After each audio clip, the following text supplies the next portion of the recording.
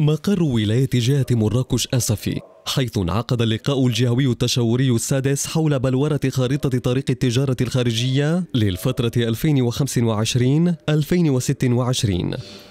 هذا الاجتماع الذي يندرج في إطار المقاربة التشاركية التي أطلقتها كتابة الدولة المكلفة بالتجارة الخارجية يروم توسيع النقاش مع الفاعلين الاقتصاديين المحليين بهدف تقديم مقترحات ملموسة لإثراء خطة العمل في مجال التجارة الخارجية.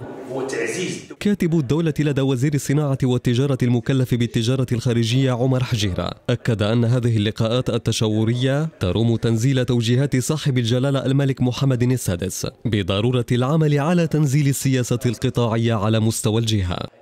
الكل كان متفق على أساس أنه غادي نشتغلوا في السنوات المقبلة وخاصة أنه كل البنيات التحتية آه، بفضل وبفعل الأوراش الملكية السامية مكنت من أن تكون جهة مراكش متوفرة على آه، كل الإمكانات باش تكون آه، عندها واحد الرقم متميز كذلك فيما يتعلق ماشي فقط في السياحة ماشي فقط في الصناعة التقليدية ماشي فقط في مواضيع أخرى كذلك يكون عندها رقم متميز في الصادرات الصناعية.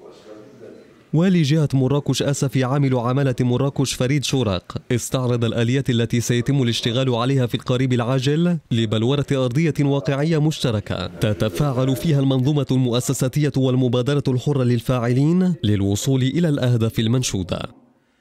نائب رئيس مجلس جهة مراكش أسف يونس بن سليمان أكد أن التعاون بين الجهة والإدارة المركزية والسلطات المحلية مكن من خلق مجموعة من المناطق الصناعية التي تكتسي أهمية كبيرة وبإمكانها مواكبة التطور المضطرد الذي يعرفه المغرب.